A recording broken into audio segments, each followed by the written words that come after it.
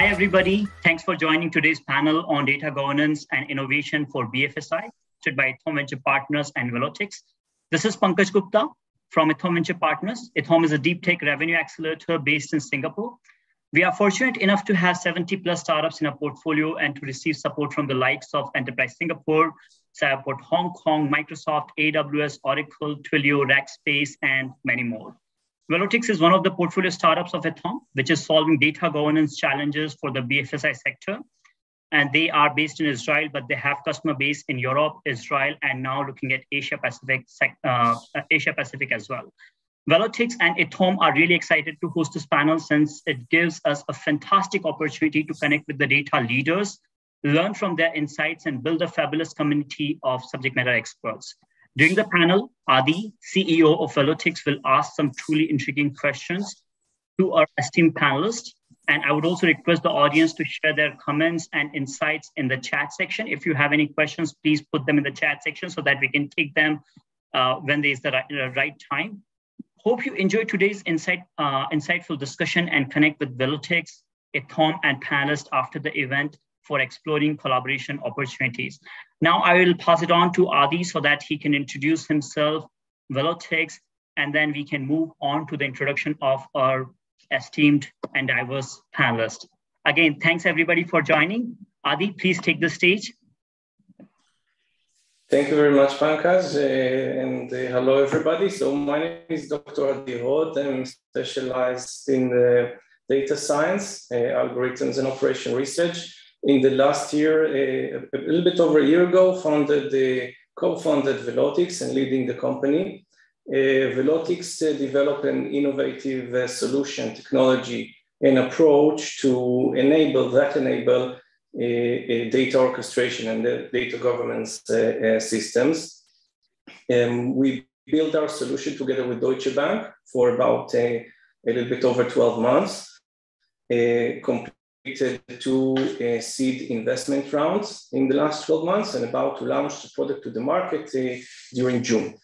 Um, I would like to uh, give the other panelists to present themselves. So please, um, Mr. Uh, Venkat.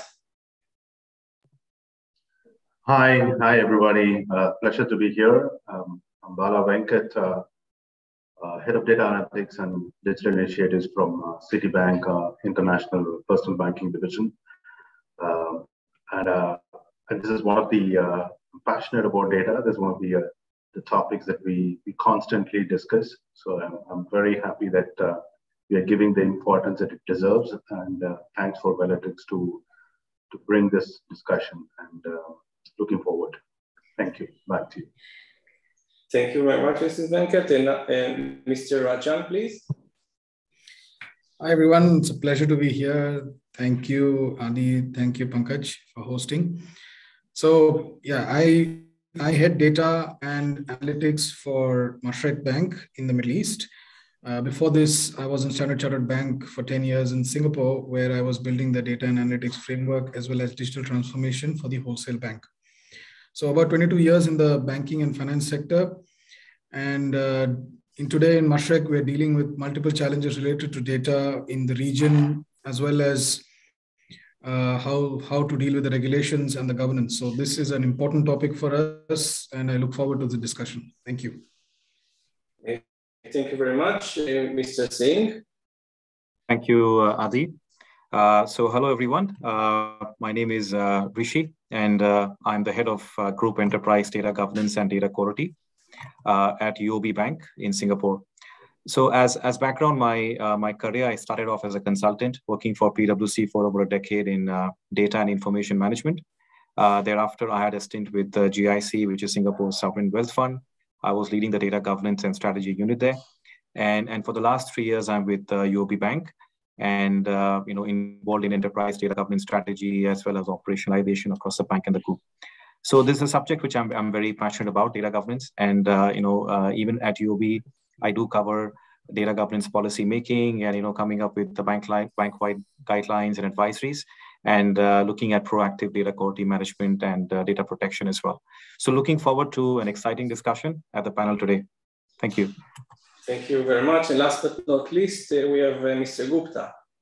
Hi everyone, I'm Sameer Gupta. I'm the erstwhile head of uh, data management agent banking for DBS Consumer Bank in Singapore. And uh, over the last five years, I had been driving uh, the data-driven agenda for DBS, uh, pushing through the data monetization strategy, building resilient infrastructure, governance capabilities, building the capabilities for experimentation and scale to drive customer obsession. I come from a very non-traditional data background before uh, taking over this role, which was five years back. Uh, I was a CFO for the same business. So I'm uh, come from the uh, view from both the data function as a line function. So I bring two different perspectives.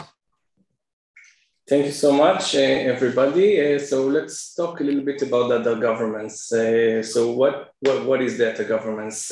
It's a process. It's a process of managing availability, usability, integrity, and security of data in your enterprise system. It's about controlling the data and enable enterprises to use data in order to drive the organization. Um, everything, everything you can see in the data. If you analyze your data, if you watch your data, if you um, look, you will see. We say that um, if you have a fire in your organization, you can see the smoke in the data. Uh, so as, as I said, here, here in Velotix, we build a, a proprietary technology uh, that is basically a new approach, a new technology to enable accessibility and sharing data. Uh, and we about to launch it in June to the market. Uh, and using this technology, we enable data orchestration and data governance uh, in a way that we can share and expose data uh, to anyone in the organization or outside the organization, but still keep the organization rules and outside regulations comply with the data. And the question that I would like to ask the panel here is uh, what are the most painful challenges in data governance and analytics that uh, you are most or leaders are most concerned about nowadays? Uh, I'll hand the question to Mr. Venkat first, please.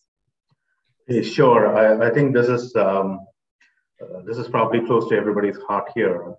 Uh, there's a number of uh, challenges that we have, uh, right? And some of these are not new. Some of these challenges have been there for some time. One is, uh, of course, uh, how do you ensure your quality of the data? So I think this is with increasing number of uh, data points coming across, especially now uh, most organizations are trying to become digitally driven. Uh, you you find the plethora of data. So now, how do you ensure that at the same time you maintain the control, the quality, and the governance of it. So I think increasing data, one challenge. And second one is we most more and more customers are expecting you to, to do that kind of personalization. So when you have, uh, you need to find out a way to balance this personalization and data governance. So data privacy is, is becoming more and more of a, of a key topic uh, and we need to revolve around the data governance. So I think this is uh, to ensure that you get that balance of personalization and at the same time data governance. And the third challenge I would I would um, I would highlight, which is an age-old problem, is is the ownership of it. Where does the ownership lie? Is this a is this a technical problem or is it a business problem? The ownership needs to be very important to ensure that data governance is not necessarily a data technical issue, but it's a business owned responsibility to drive it. I think these are, for me, uh, I would highlight, there are many challenges, but I'll highlight these three challenges to start with, from my opinion. Mr. Singh, please. Thank you. Thank you, Adi. Uh, I think uh, uh, just now, you know, my fellow panelist, he has covered very, very interestingly uh, three unique challenges which we also face, you know, uh, in, in the data governance world. I would like to add uh, a couple of more points. Um, there, there's one challenge we, we constantly grapple with is around, you know, the differing and the evolving legal and regulatory landscape across the region. And, and because of that, you know, operating in a regional environment uh, where typically our data sources come from multiple jurisdictions. Uh, all these data specific regulations tend to be sometimes quite different and non standardized, and because of which uh, you know, it's, it's difficult to centralize some of the architectures and, you know, centralize some of these data repositories. And, and sometimes, you know, these regulations tend to be very stringent. And, and uh, nowadays there's a growing trend of data localization in many countries as well. And that's, that's causing, a, you know, a bit, of a headache for us from a, from an overall architecture and governance standpoint.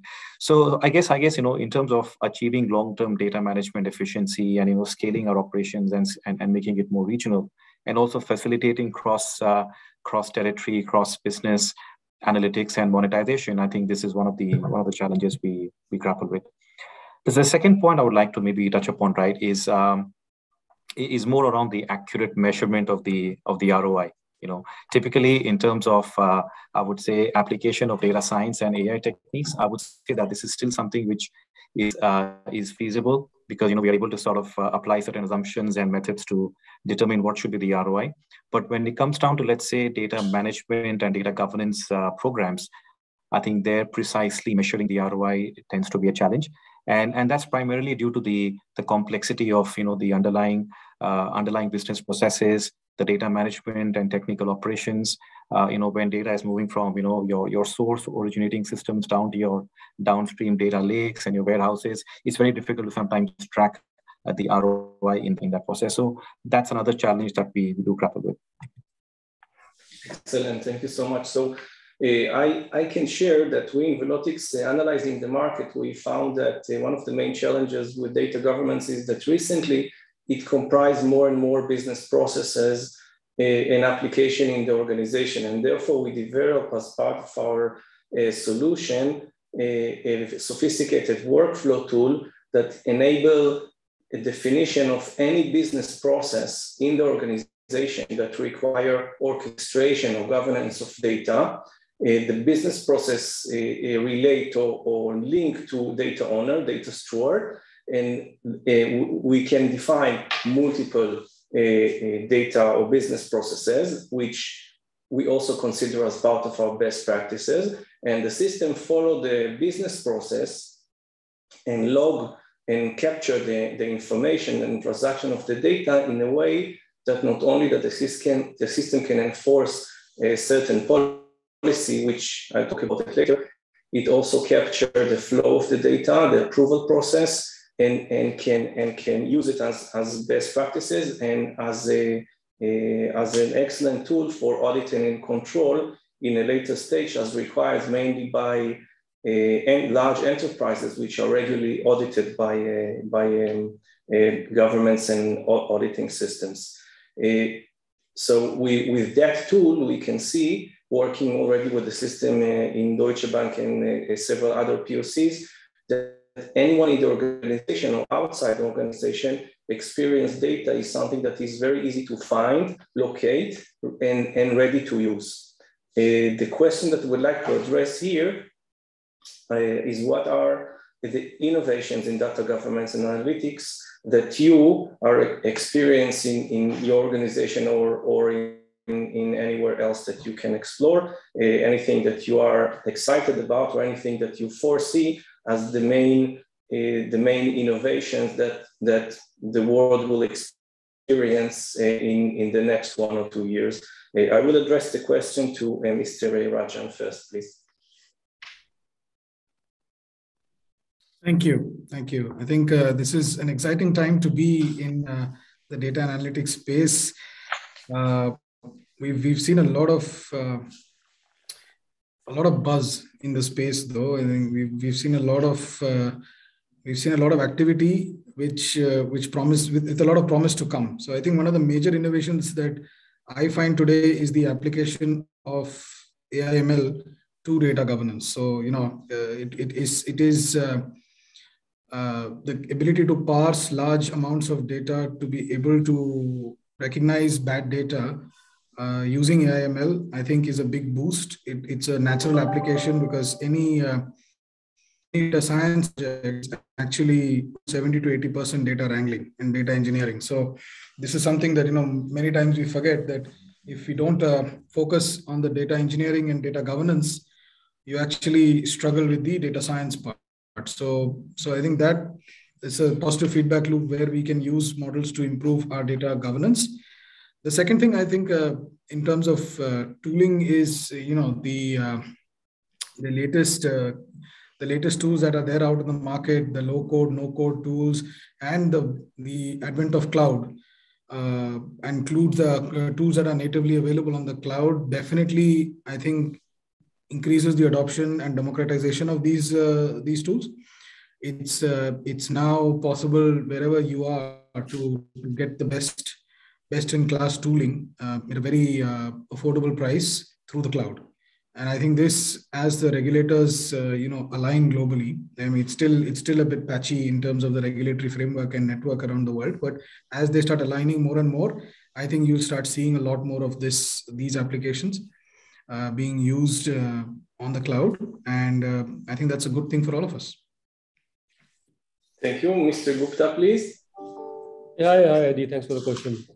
I agree with what Amith has been saying. Uh, it's a very exciting time to be in when uh, there's uh, increased use or potential use of AI ML in data governance. One of the bigger challenges uh, from a user perspective is the time to market. You know, the point when you start acquiring data to the point when you are able to create value out of the data. Depending on the complexity of uh, data acquisition or project, it can last anywhere between six months, one year, sometimes even longer. So the advent of new tools to help in, for example, uh, uh, data labeling. You know, as, as Amith mentioned, today it takes so much time. The large part of 70, 80% effort goes into engineering. Okay. So if there are AI ML tools which can do, there are AI ML tools available which can do data uh, labeling today. But the question is the accuracy. Okay, how what what level of accuracy they can provide, at what level an organization are capable are comfortable to operate in. But as we uh, increase our capabilities, we will have more complex AIML tools available which can do this labeling with higher accuracy, which will really crunch down the time to market from acquisition to delivery or to create to creating value. Similarly, the other solutions, uh, assessing data quality, improving the quality, so and so forth, which will have the same function. One area where I'm specifically excited about is the cloud. Okay, as Amith mentioned, uh, you know, the regulatory framework is still quite patchy and it's quite dis, uh, distinct if you compare across even in the ASEAN, ASEAN region. While Singapore has been an early adopter, but the migration to uh, cloud has been quite patchy, has been slow, as compared to some of the banks in or some of the other locations like Vietnam. Uh, I was talking to one of the consultants recently uh, uh, from AWS, and he, he was telling me there's banks in Vietnam who are on track to do complete migration of data lake to cloud by 2025. So by that standard, Singapore is still quite lagging behind. I don't think there's any bank which is uh, even thinking about moving all data, including PI data to cloud uh, in next five to six years. So that, that's something which I'm, I'm particularly excited about. If there is uh, more uh, uh, incremental changes in the regulatory framework, there's more acceptance uh, to migrating data to cloud, uh, they're more comfortable with data confidentiality on cloud. Uh, this is a space I'm very excited about. Once that happens, the time to market really crashes down. Today, a lot of investments get stuck into data because, as, as uh, you know, one of my panelists was mentioning, the value creation is not clear. And one of the reason the value creation is not clear is value creation takes so long. So by crunching that or crushing the timeline, uh, the value creation becomes more, more and more apparent. You'll see more money flowing into this direction. You indeed, uh, Mr. Gupta, you spoke about spoke about the accuracy and uh, in Velotix in order to improve the accuracy of the data governance or data orchestration, we develop our own uh, tagging system, classification system, um, and, and, by the way, supporting almost every language in the world. And uh, having this functionality enable us to identify and relate to very specific data item and to provide or, or um, uh, provide the ability to use uh, data with, with um, a functionality that we can mask or de-identify fields data in a row level, in a column level, and even in a cell level.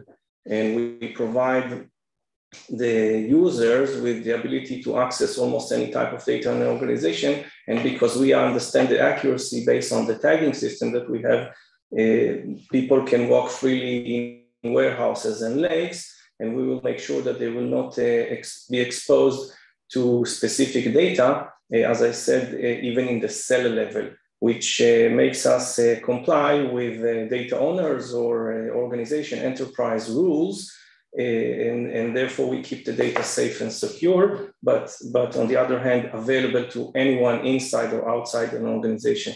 Another important point that you made is about the value. And indeed, uh, if we look uh, back several years ago, even a couple of years ago, uh, organizations thought about data from the storage point of view and, no, and not so much from the value point of view.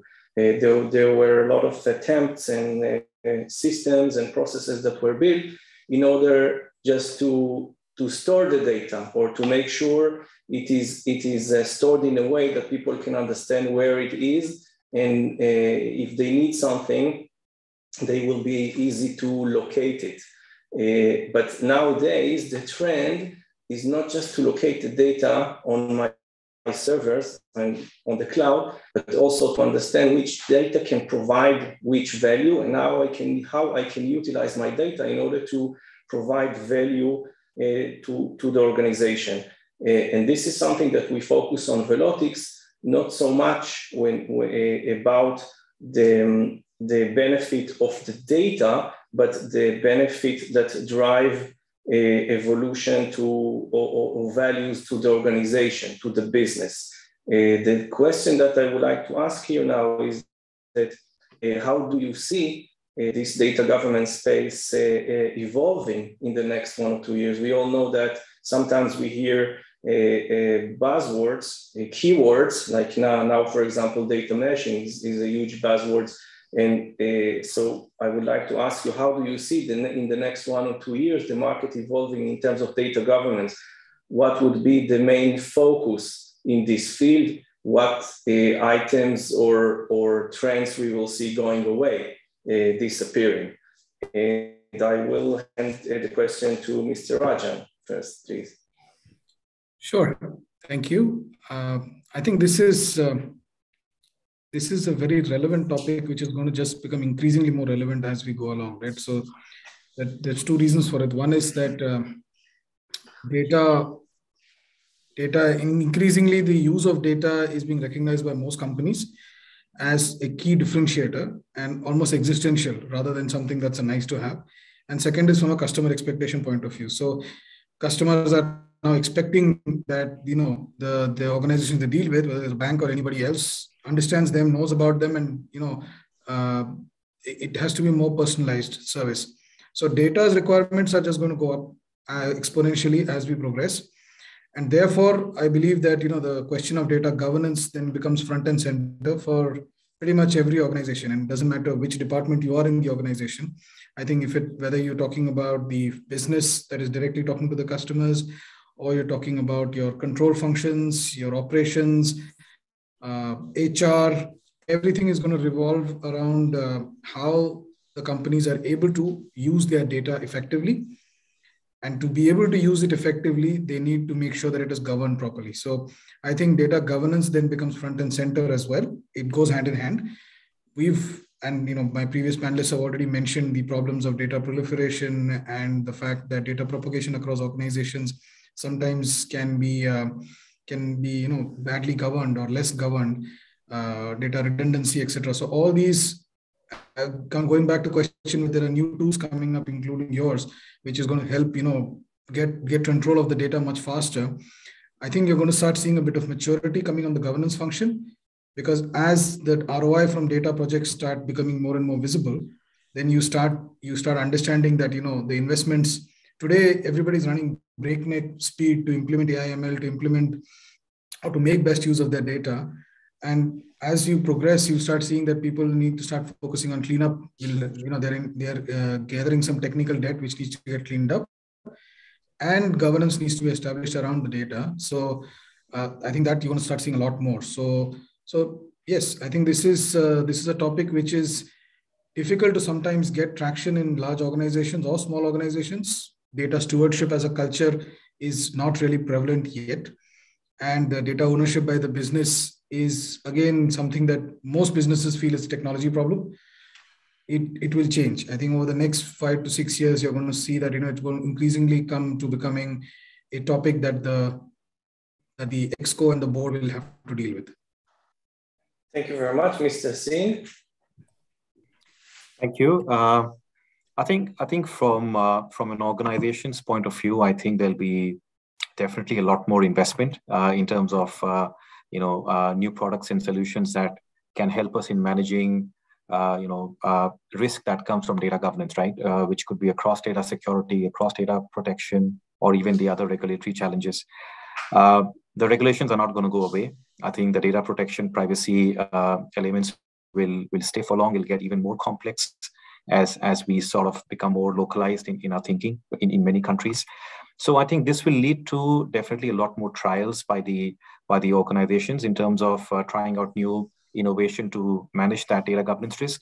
Uh, organizations will fail a bit, I guess, you know, in this journey. They they'll fail fast, they they learn fast, and uh, but I think this demand from the industry will will definitely spur up the innovation and you know disruption in the vendors landscape as well. And and you know uh, most likely there'll be more fintech and startups that that jump onto this demand. Uh, i think the other bit i feel is you know within the organization the manpower profiles that you know deal with the uh, the operational handling of data uh, such as business analysts and you know the the users data users i think they'll become more savvy they'll become more sophisticated uh, they'll be more aware of uh, data governance requirements and best practices. Uh, there will be a shift because they will see the value coming out from from the organization in terms of business taking more ownership, and and that's what I think I think would be a, will be a change. Uh, there, there's one more point I would like to highlight. You know, where I see a bit of uh, shift happening in data governance. I think there, there's a new new space of data ethics, which is which is gaining a lot of prominence. And I think as uh, as the organizations, you know, embed and operationalize a lot of AI and machine learning and data science tools in, in, in their business processes. Uh, there's also a growing concern from a you know, broad data governance and ethics perspective, you know, around ethical decision making by the AI models. And I feel that you know this is one space where uh, organizations and regulators will have to become more uh, more smart, uh, more savvy, and and I, I, would say that you know Singapore in a way is already ahead in the game because uh, the regulator has been very active and they have release a lot of data ethics principles uh, under FEAT principles, which is you know fairness, ethics, accountability, and transparency.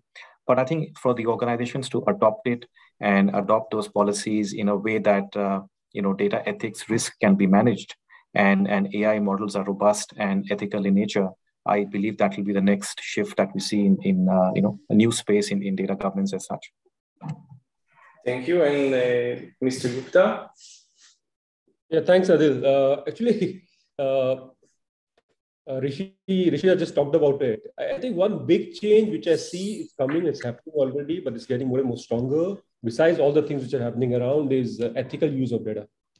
So how it's not only I would say it's broader perspective. Uh, besides AI ML models, is also the actual use of data, how it's being used.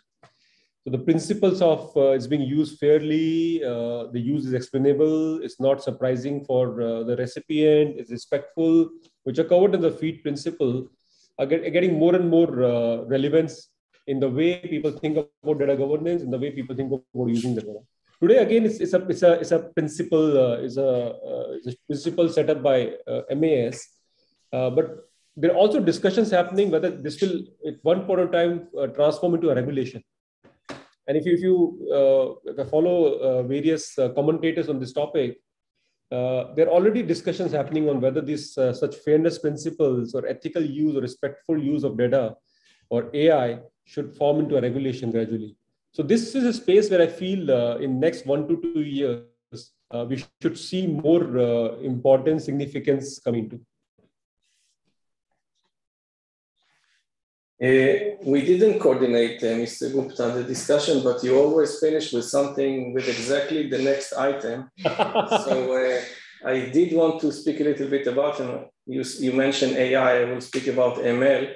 Um, uh, and this, this was going to be the next question, but I would like to explain how we use um, machine learning uh, technology or AI technology in Velotix. So when I say data orchestration, let's take it to the ground a little bit. So we have this uh, sophisticated engine that, that monitor the transaction uh, uh, into the data. What does it mean? So people in the organization would like to use the data.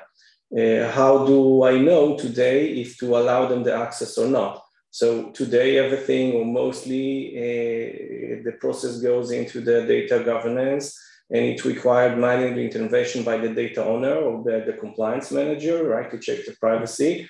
But in Velotix, we capture this transaction, we learn the transaction and we build what we call the organization policy in terms of using the data. And we uh, learn from each transaction uh, and the approvers or the restrictions the data owners apply, we learn the policy in the organization until we reach a point when the system is almost 80, 90% autom automation involved. And the rest of the, the processes we still need to learn. But, but the idea is that we're using information from the past, a, a manual information, manual intervention to learn and apply recommendations about the future. So if we have enough uh, uh, processes of people or machine from inside or outside the organization accessing data and receive the data with a list of restriction. By the way, some of these restrictions are what you mentioned, regulation. Some of the restriction could be enterprise rules and, and so on. So we build the policy in terms of using the data, and then we enforce it by either automatically or by recommending the relevant data owner how exactly to address and with that, you get a, a data system in your organization which is fully secured and managed by Velotix AI. And the next question I would like to address is, is indeed how important you think the role of AI or machine learning, or even blockchain, I may say, uh, will, pay, will play in the data governance uh, space, and perhaps even in, in a disruption way. And I will hand it to Mr. Rajan first. Oh, sorry, sure, thank you. So again, I think um, in my my opinion, uh, blockchain is not necessarily a disruptor in this space.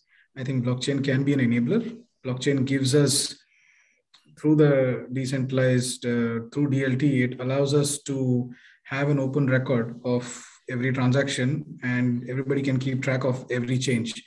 That, in my mind, is a big step forward in terms of ensuring transparency and governance. So in fact, you know, even if you look at the current craze of NFTs, at the end of the day, it is just a digital ownership that you're having on on the on the blockchain. So it, it is another application of the same principle. So one by one, as you start seeing, you know, today there is a lot of buzz, and for many years, I said, you know, blockchain has been a solution looking for a problem.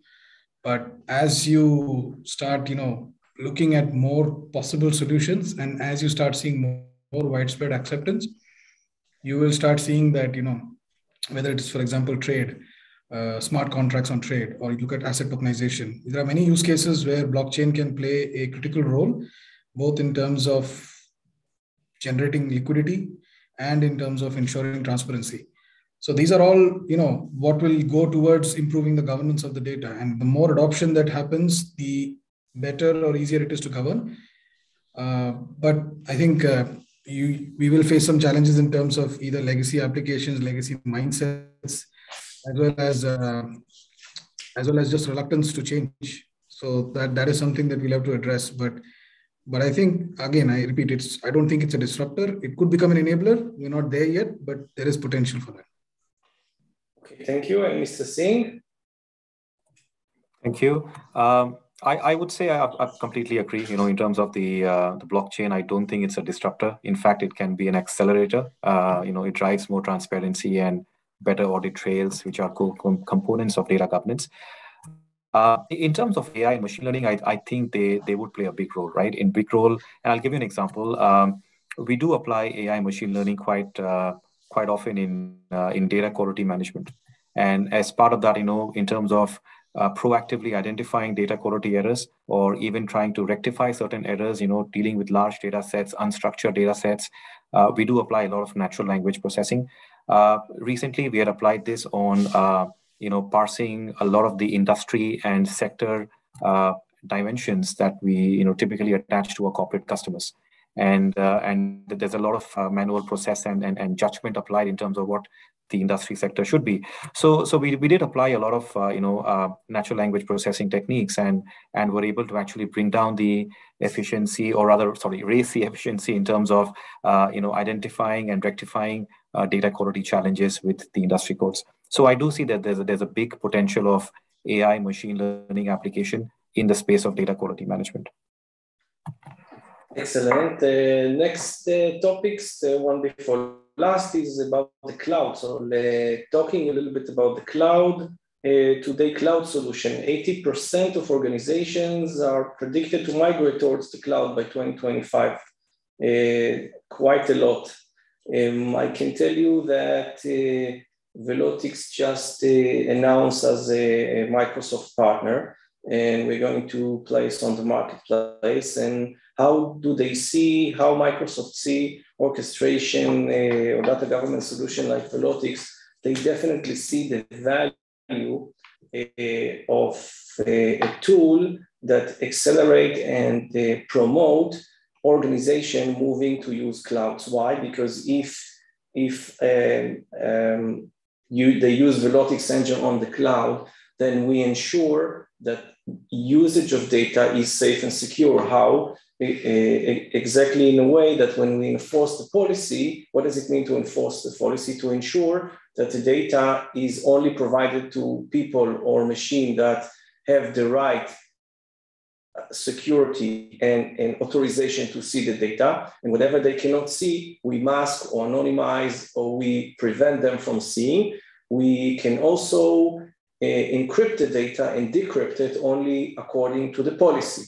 Uh, so they definitely see uh, Velotix and, and, and similar uh, um, uh, solutions uh, or close to similar because our approach uh, solution is, is the first one in the market.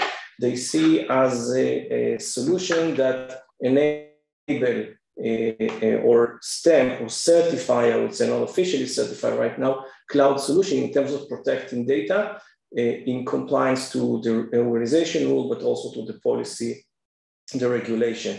And here I would like to ask you, uh, dear panelists, uh, what could be the biggest hurdle in adoption of the innovative solution uh, within data government space. And I'll hand the first question uh, or the first opportunity to Mr. Venkat. Yeah, um, this is uh, this is something that we are we're all trying to address. Right? So um, when it comes to hurdles uh, in data governance, uh, I think it, it will be good to to understand the life cycle of the data. So I think it's um, uh, if, if there are hurdles and challenges in every part of it, uh, right from you know if you look at data governance, first is how do we ensure that our data quality is correct? How do we ensure that there are, we are able to identify the data anomalies and if there are data anomalies, how do we actually able to remediate them as and when they happen? And how do we actually then do it on a continuous basis, right? So I think it's it's it's it's not a it's not a simple process. You need to. That's where the innovation we talked about earlier, usage of AI and ML, usage of uh, trying to automate some of this process, being able to identify it more accurately. How do we ensure that accuracy of, of our data? So all of that is, is very essential. So in order to do that, you need to make sure that you're able to address the key challenges. For me, uh, if you want all your innovation to work, if you want all of this to be automated, if you want to make use of AI and ML techniques, you need to get the buy-in from the, the legal and the compliance. And many of this today, um, in fact, people talk about data democratization data democratization is uh, is good to say, but at the same time, you need to understand what is data data democratization. Are you going to give the data to every single individual who gets the data, and what happens when you give the data to somebody? You need to have some level of control, right? Data democratization doesn't mean that you give uh, everything to everybody. So I think we, we need to make sure that we understand what we are trying to address here as a challenge. So legal and compliance. And in fact, I believe in the next six years, data governance will also become to a larger extent DIY kind of data governance. It's not going to be a single centralized function that is going to do data governance. It's going to be each individual, each business, each department is actually going to be responsible for their own data governance. And a lot of this, customers will have a say. Today, customers will probably be assuming what customers' privacy want, and to a larger extent, regulations are forcing us to, to speak to customers. But in the in the future, you need to address that challenge. What is customer? Maybe some customers are willing to share more data. Maybe some customers are willing to actually collaborate and partner with you in sharing the data because they see some value in it. I think this is the point that value creation that um, uh, Rishi was talking about. We need to make sure that we address that challenge.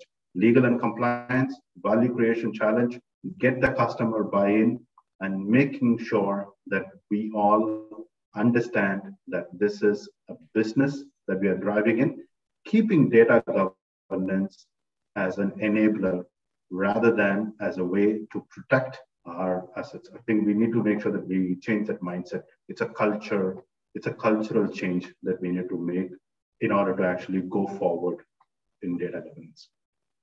Thank you so much. Mr. Gupta, please.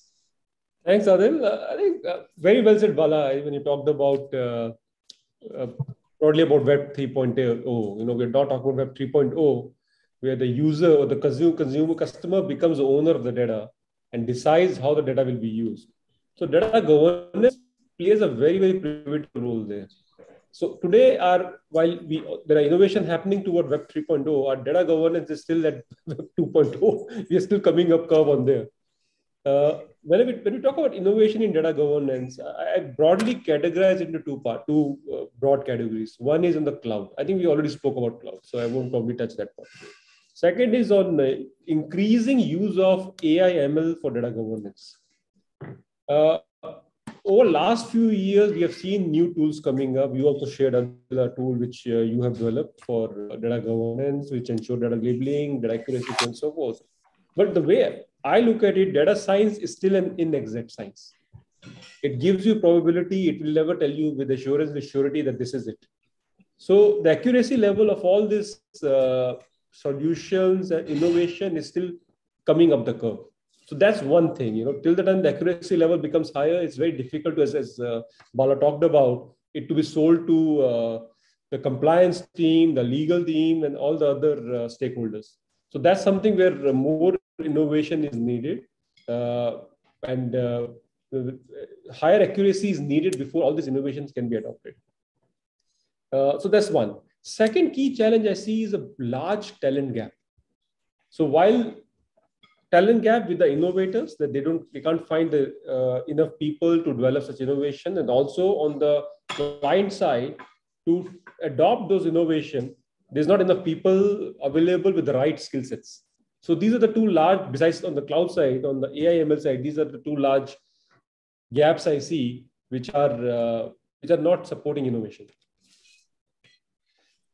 Thank you so much, Gupta. And the last uh, question I want to address is about uh, startups uh, like Velotix who present the market um, solution that are data governance related.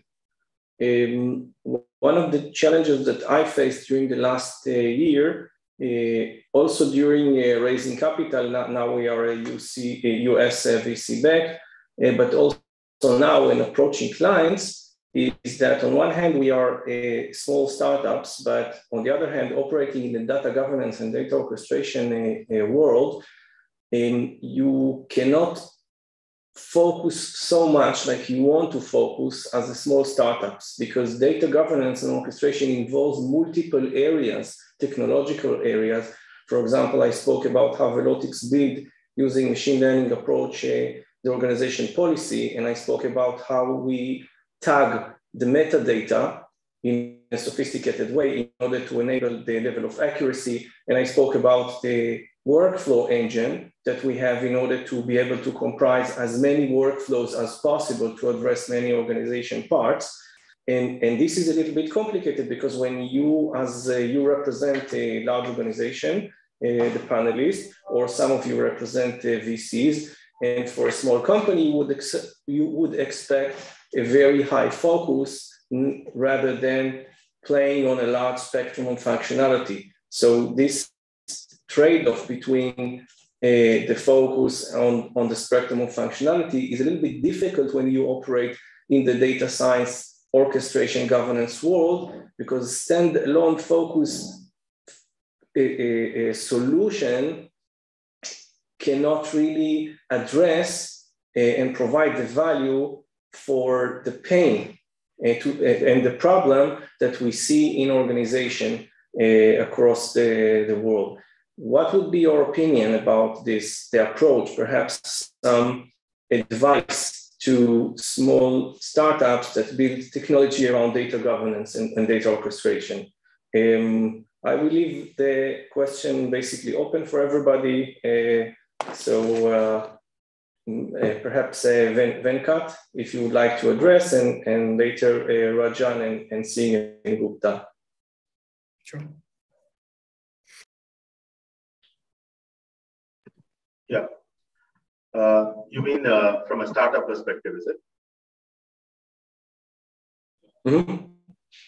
Yeah, no, this is one area I'm very passionate about also because I, I, I do see that uh, a lot of startups uh, are coming in and, and trying to address this very important area, right? So everybody is, is trying to, to come up with some very innovative solution there's a lot of um, using AI, using ML, using as a policy management engine, very um, very sophisticated uh, solution. But I think it's it's sometimes it becomes too much technical and advanced solution, which then um, when you when you go and come to when you pitch that kind of solution to enterprise customers, to banks or any other customer, it's it's up to the BFSI or the banks to figure out how do we make use of the solution it's the it's the use cases are simply left to the uh, to the clients and customers to figure out. I think it's it's important that uh, to bring in that expertise on identifying those challenges and the areas where the solution actually makes sense. So understanding of the challenges problem and clear use cases when you actually pitch it. And the technical is more like enabling that, making it happen. I think that's how the startups, in my opinion, should, should kind of position this solution. And second, who are you pitching the solution to? Who are you targeting this? Are you going and talking to uh, uh, head of data governance, or are you actually reaching out to uh, to the head of business? Um, and if so, are you giving them a correct ROI? So this goes back to that value creation question: Is your solution able to create the value which is urgently needed for that business. So I think if, you are able to to ensure that you address these two points uh, upfront, able to come up with right use cases, make it as a business challenge, and able to create value creation, I think then uh, I would think that startups are actually addressing it in the right way. Thank you so much. And Mr. Rajan, please next. Sure. I think uh, to build on what Bala said, and I totally agree with uh, with what he said. It is, um, and you know, and this is this is again an area of particular interest for me. So I, I work with startups and startup bootcamp here as well as in Singapore and with NUS. So I spend a lot of time with startups, and uh, I, you know, I understand what you're saying, Adi, in terms of the fact that data governance and data in general is a large universe, and you know, every every founder wants to make their tool you know uh, useful in every part of the problem and solve every problem that you can possibly see right? But i still think focus is a major uh, major prerequisite from my point of view and you can prioritize. So for example if i'm looking at if i'm looking at buying a data governance tool i might decide to buy something in a big bang approach and buy everything or i might decide to go modular. I might say i just want to buy something that will help me with cataloging something with say lineage something that will help me uh, with quality and you know and then eventually build up to something that is going to take care of mdm for me or you know it, it doesn't necessarily have to be in one big bang. So in the same way i think it, one important point to build on what bala said because i think those two are critical in terms of roi and use cases. On top of that i think to for most startups it would help if they have a clear focus and are addressing a particular pain area rather than trying to do something for everybody by no means does that mean they need to stop there, right? So you come to the market with something, you Uh, and like you said, you've got Deutsche, so you get you get one flagship customer, and then you start building on top of that. I think that's a good approach.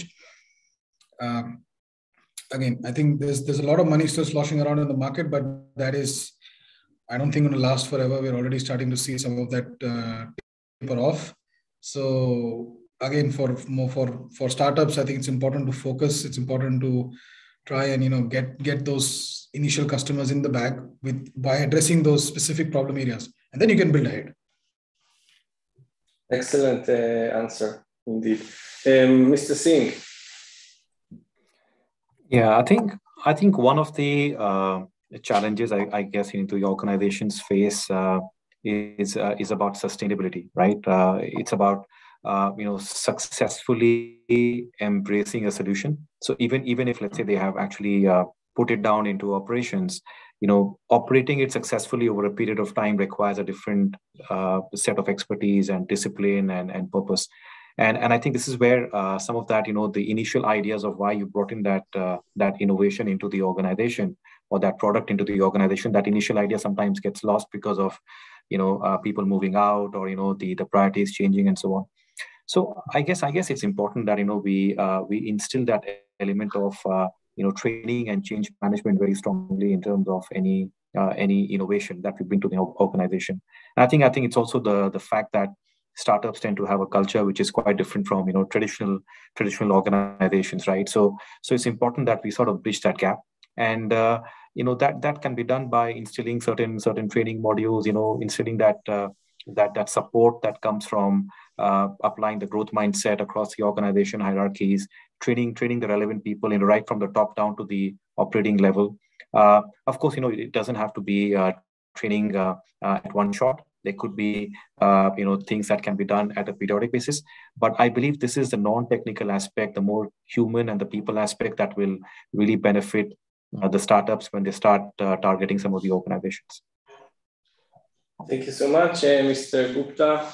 Please, last but not least, yeah, so uh, I think my panelists have covered uh, most of it. So largely being clear about which specific problem they're trying to solve and focus on that specific problem only. It's uh, their, their size do not support uh, enough uh, to create a solution for everything.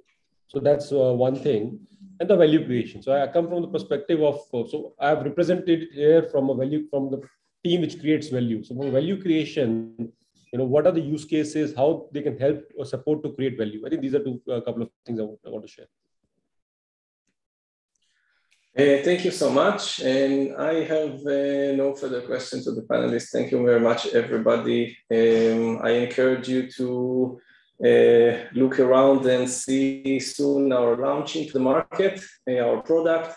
Um, uh, Uh, with our uh, uh, first uh, customer, Deutsche Bank, that we built together the system and a few other POC that are already running in the background. I'm excited uh, to be here and thank you so much for the opportunity. And I'm sure that we will meet again. Thank, you very much. Thank you, Adi. Thank you, everyone. Thanks, Adi, and thanks a lot. It's a pleasure. Thank you. Thank you, everyone. Thank you.